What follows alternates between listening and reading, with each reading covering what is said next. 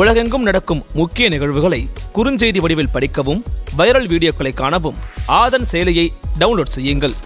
ஆதன் செயலியை டவுன்லோட் செய்ய டிஸ்கிரிப்ஷனில் உள்ள லிங்கை கிளிக் செய்யவும்.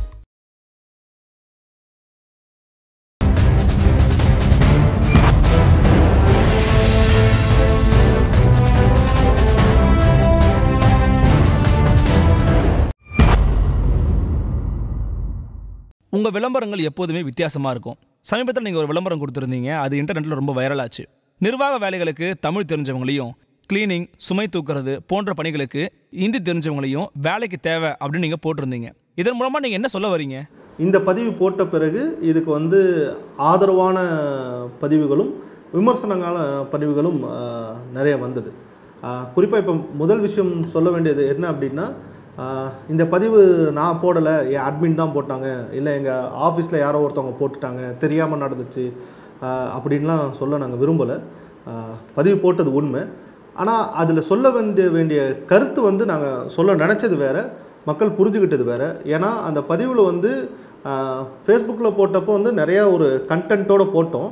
ஆனால் அது ஷேர் ஆகும் போது வந்து வெறும் அந்த அந்த போஸ்ட் மட்டும்தான் ஷேர் ஆச்சு.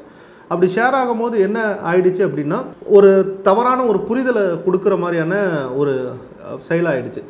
முதல் விஷயம் என்ன அப்படின்னா வந்து நம்ம போட்டதில் வந்து நிர்வாக ரீதியாக ஏன் தமிழ் தமிழ் தெரிஞ்சிருக்க வேணும் இது ரீதியாக ஏன் ஹிந்தி தெரிஞ்சிருக்க வேணும்னா இதில் ரொம்ப முக்கியமாக குறிப்பாக நீங்கள் பார்க்க வேண்டியது என்ன அப்படின்னா தமிழர்கள் இந்தி தெரிஞ்ச வட மா வட மாநிலத்தார் அப்படின்ற மாதிரி நம்ம குறிப்பிடலை. இந்தி தெரிஞ்சிருக்க வேண்டும் அப்படின்னு தான் போட்டோம்.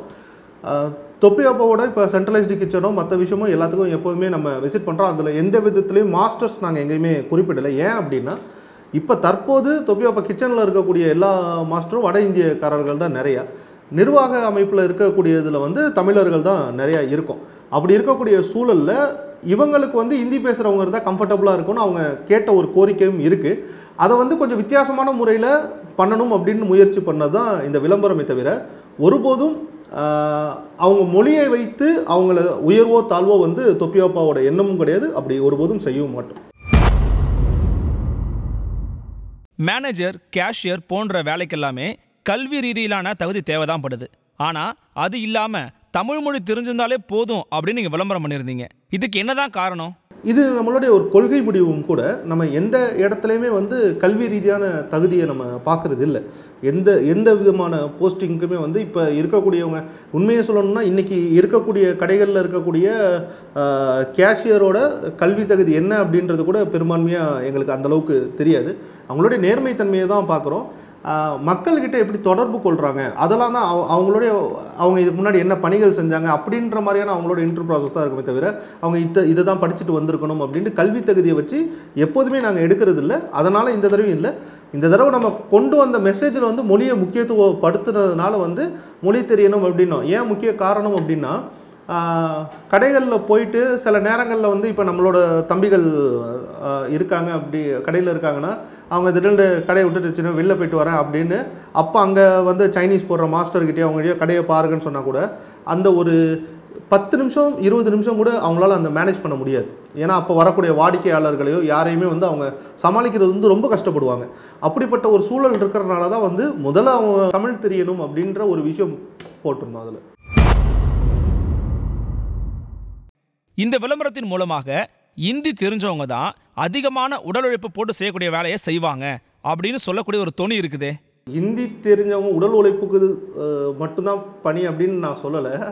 தமிழ்நாட்டில் வந்து தமிழ் தெரிஞ்சுக்கோங்க அப்படின்றது தான் சொல்கிறோம் இங்கே முக்கியத்துவம் என்ன அப்படின்னா தமிழகத்தில் நீங்கள் வாழும்போது வந்து தமிழுக்கு முக்கியத்துவம் கொடுங்க அப்படின்ற ஒரு விஷயத்தை தான் நம்ம முன் எல்லா இதுலேயும் நம்ம முன் வைக்கிறோம்.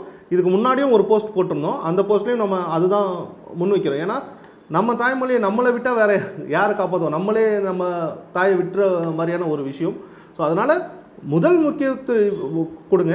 இந்தி மட்டுமல்ல எந்த மொழி வேணாலும் கற்றுக்கோங்க ஓகே இதில் வந்து இந்தி தெரிஞ்சவங்களுக்கு வந்து உடல் உழைப்புக்கு மட்டும்தான் இல்லை வேற மொழி தெரிஞ்சவங்க இந்த காரியம் தான் பண்ணும் அப்படின்ற மாதிரியான எண்ணங்கள் எங்களுக்கு எப்போதுமே கிடையாது.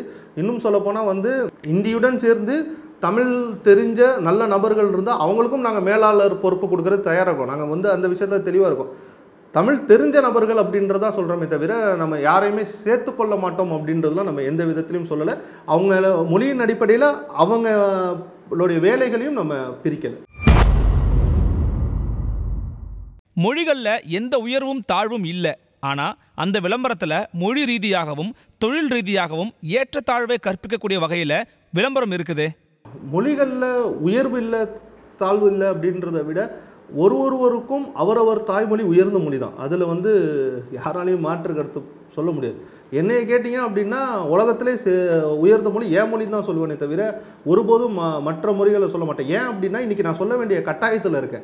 இன்றைக்கி பல ஆயிரம் வருடங்களாக இருக்கக்கூடிய என் மொழியை வந்து இன்றைக்கி மற்ற மொழிகள் வந்து ஆதிக்க செலுத்துகிறப்போ வந்து நான் உயர்த்தி பிடிக்க வேண்டிய கட்டாயத்தில் இருக்கேன். ஒரு சின்ன உதாரணம் சொல்கிறேன் இப்போ நம்ம கடையில் பணிகளில் இருக்கக்கூடிய வடமாநில இளைஞர்களில் நீங்கள் போய் வேண்டாம் பேட்டி எடுங்க.